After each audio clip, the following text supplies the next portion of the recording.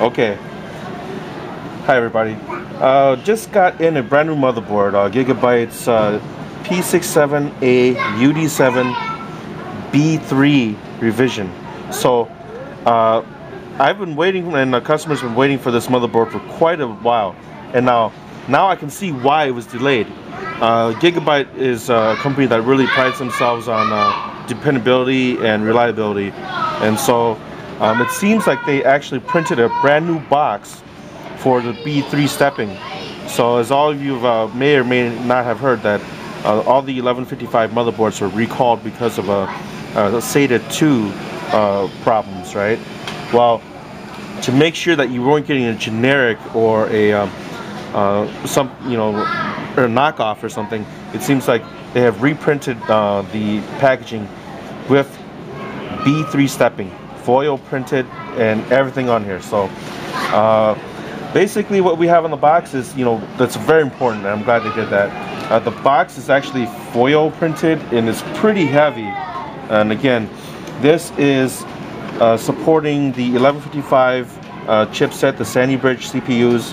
And um, what we have here is, and what's really um, desirable about this motherboard is that um, it has precise uh, power management, 24 phase uh, uh, power design here. So pretty, uh, it's uh, the VRM design actually.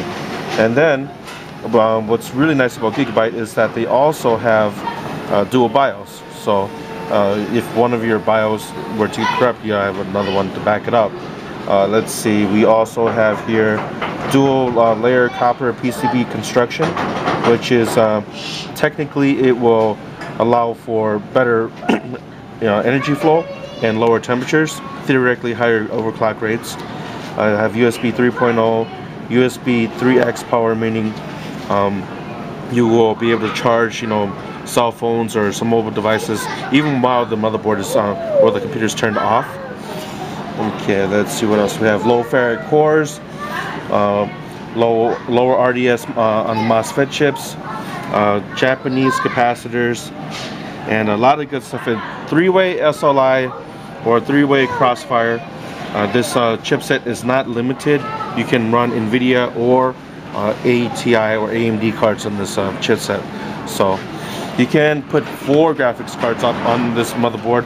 However, uh, that would re require you running single slot cards or actually taking the, the shroud off a uh, graphics card and water cooling it. And that's the only way you're going to be able to run high performance uh, cards on this motherboard and have it fit. So we're going to take it out of its box. It has a candle and, and I don't know, just nice packaging because it is kind of heavy. So what we're going to do is we're just going to under take it out of the box and show you how the packaging is. And it comes out pretty easily and if you take it out you have a clear cover so you can see the motherboard. So they, they do this in certain um, box, in certain uh, uh, packages because the customer does want to see it. But it's not packaged like a traditional motherboard where you actually have a static shield or a static bag because you'd have to actually take it out of the static bag to look at what's in the what the product looks like. And if uh, a customer were at a store and they really wanted to see what the product is, just take it out of the box and you know, they can see what it looks like without actually opening it and damaging the product. So what we're doing is we're going to take this out here on top. Oops, sorry about that. I'm going to get this out. and there's a plastic covering. And it smells new, right? you actually smell the newness of it. Uh, we'll take it out here because there's a lot of other things in package. And it's heavy. I actually feel how heavy it is. And just being the safe side, I'm just charge some static off my body here, and I'll try to pull it out um, to see, because there is no static bag with this, but it is, as you can see, packaged very securely, and see the back.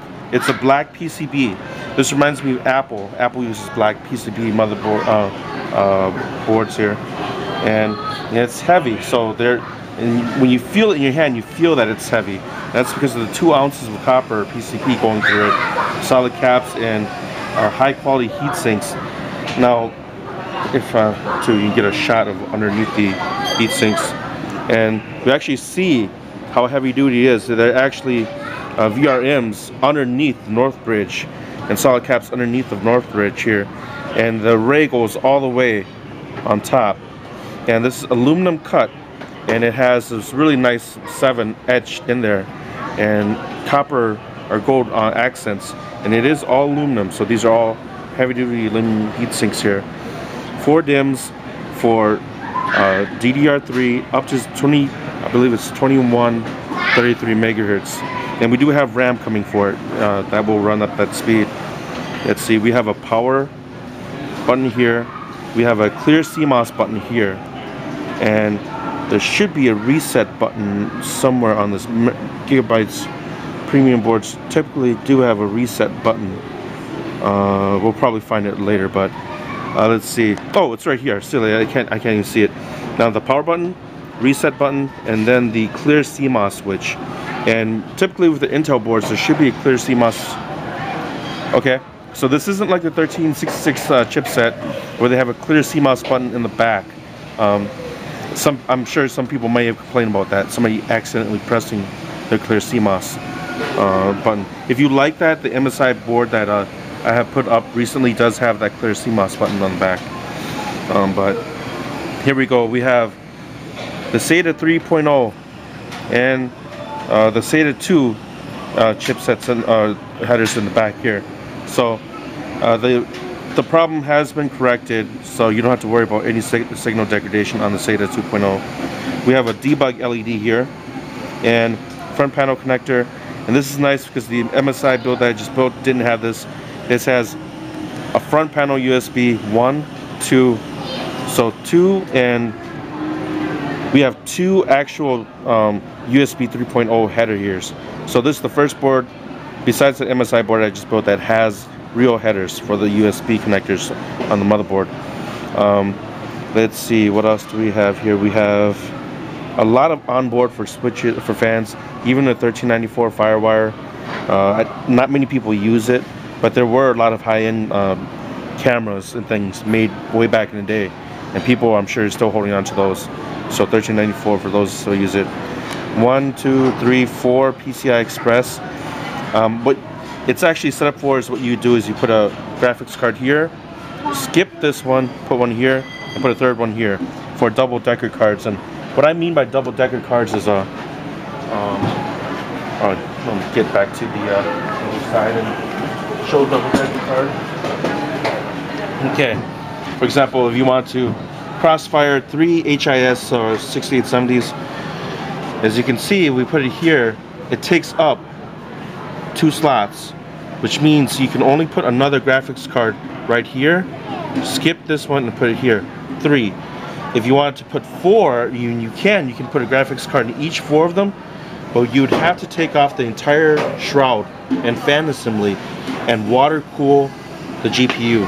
And that way you can actually put in four graphics cards. Otherwise, you have to go with a single slot GPU um, like uh, XFX's 5770 for example. So that's the only way you can actually put physically four uh, graphics cards on this uh, motherboard without any much without many problems. But uh, let's see what do we have here.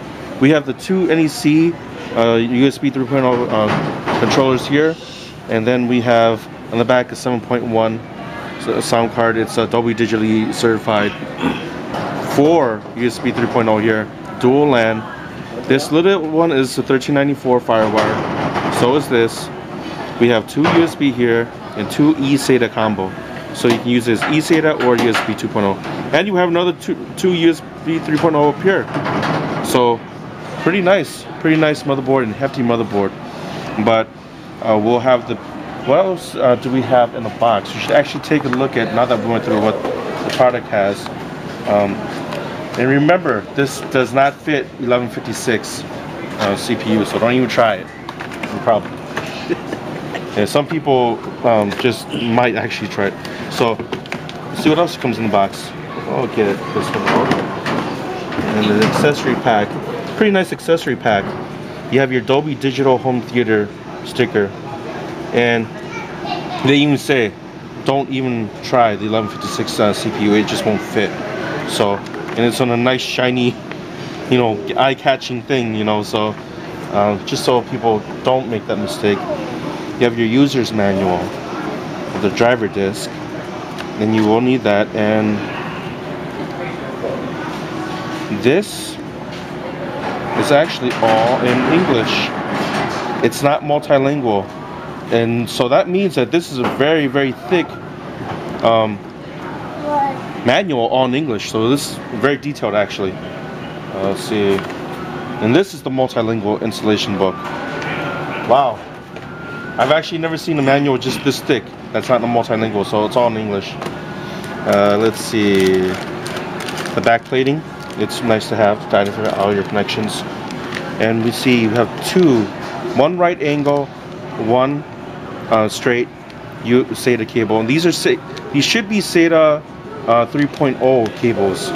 Um, I don't see any other markings on it, so I'm, uh, I'm gonna go ahead and say that they're all SATA 3.0 cables, unless these are SATA 2.0 cables. Um, I don't know. There is a difference. Um, a lot of SATA 3.0 cables are actually labeled, or they're white. So, what we have here in this bag is okay. What we have here is well, actually, since this will be built soon, and uh, we, why don't we open it up because it's smoked. This is actually smoked, so some people might not be able to see what actually comes with it. And we're gonna open it just to take a look. This is an a SATA power uh, uh, converter. This is going to connect into any uh, 4-pin Molex. And then you can connect two uh, SATA devices for power. And let's see what this is, because I'm curious to see if they, if they actually care, Gigabyte actually put in SATA 2 cables or SATA 3. Um, it says serial ATA, and there's no particular marking, so serial ATA, I'm thinking it's going to be SATA uh, 2.0, 2.0 or SATA 2. Now I'm going to go ahead and open up these just to make sure. I'm sure a lot of people are wondering because I'm wondering about that. And this also says just serial, you know, ATA. So I'm gonna have to, oh, okay, we do have marking on the cable. We do have marking on the cable, which is good. Because you want to make sure to, can you zoom in on that? It says SATA or 6 gigabit per second or 3 gigabit per second. So these are SATA 3 cables. And let's see what the cables I just opened up what they say. This is the cables that were in the smoked uh, bag. And this does not say SATA, it does not give a differentiation, say, or 6 or 3. So these, I'm going to take it, are SATA 2 cables. So it's important not to get them mixed up, and I'm going to tag them later. So just as I thought, this uh, the packaging with this here, and that would make sense. This is SATA 2. And what you have here is two eSATA ports here, but a power port. So I mean, a lot of people that don't open this, and since this is actual for a real build, uh, I don't actually make videos of things. Nobody sends me things yet, so if Gigabyte is hearing, you can always send me things to review. but this is an actual real build. So we have eSATA, two eSATA leads and the power, and the power goes to this. So this will actually be something that we can connect later. If your 4-pin connected here, this can be external here so these are two power, uh, SATA power external leads here. And then you can always connect it, um, and then you can also always connect it right into like, you know, the eSATA connector here. So let's see what do we have. We have one SLI bridge. So just say if you just want to connect two video, uh, video cards. And this is important. This is, if you ever lose one of these, you have to order it right from Gigabyte.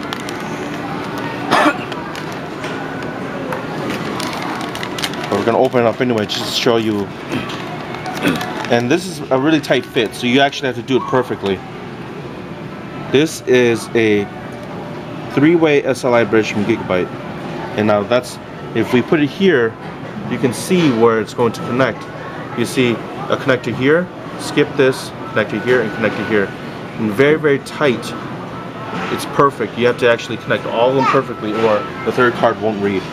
Uh, otherwise you do uh, your, you know, your dual card, which you can, you know, put like here, and it's gonna bend up a little bit, but for the SLI bridge. Uh, I don't know why they give.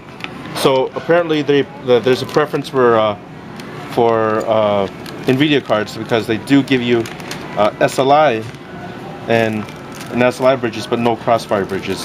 So you know that's something that perhaps I don't know if uh, Nvidia has worked out with various builds or motherboard constructors, but you know uh, you can order crossfire bridges or really uh, good companies like um, XFX or you know HIS or some other companies in Tech.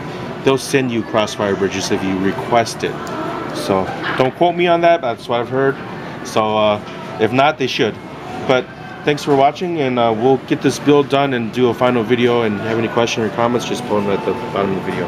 Thanks. Creo que sí.